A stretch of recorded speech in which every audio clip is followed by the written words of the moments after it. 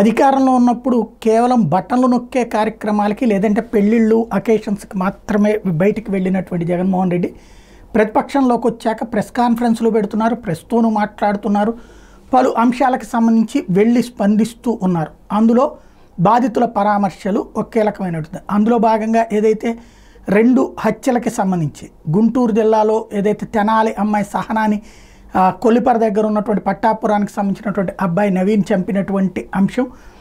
దాని నేపథ్యంలో అమ్మాయి బ్రెయిన్ డెడ్ అయినటువంటి అమ్మాయి గుంటూరు జనరల్ హాస్పిటల్ ఉంటే వాళ్ళ కుటుంబ సభ్యుల్ని పరామర్శించడం. అట్లాగే మరొక వైపుని బద్వేల్ దగ్గర ఏదైతే అమ్మాయిని మైనర్ స్టూడెంట్ని పెట్రోల్ పోసి తగలబెట్టినటువంటి ఘటన ఈ రెండు కీలకమైన ఆ రెండు కుటుంబాలని పరామర్శించడానికి జగన్మోహన్ రెడ్డి వెళ్తున్నారనగానే నిన్న వాస్తవంగా సవిత అనుకుంటా మంత్రి గారి పేరుతో ఒక నోట్ రిలీజ్ అయింది.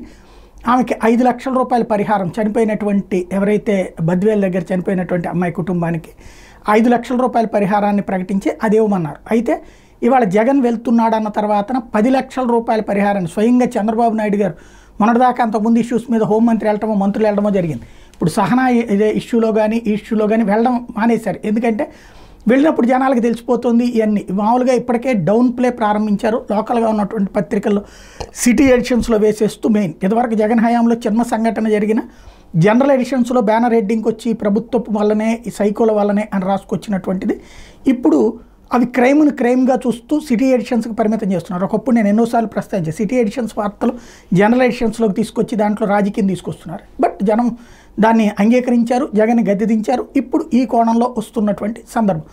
రివర్స్లో. అయితే అట్లాగా రాకుండా ఉండటం కోసమే మంత్రులు అది వెళ్ళడం మానేశారు.